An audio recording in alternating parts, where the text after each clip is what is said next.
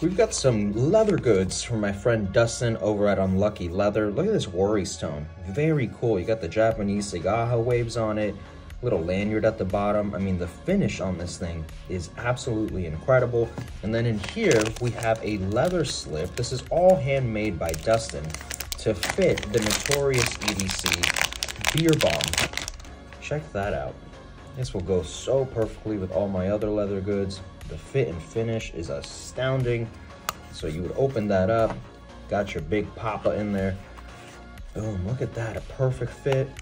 Lock that up. Oh yeah, that is really nice. Let's see how easy it is to retrieve it. Uh, it's a bit of a mission to get it out. Not too bad actually. If I had a lanyard on it, that would have been a lot easier, but that is very nice. So a huge thank you to Dustin at Unlucky Leather Co. Make sure you guys follow him. Links will be down in the description if you want to pick up one of these beer bomb slips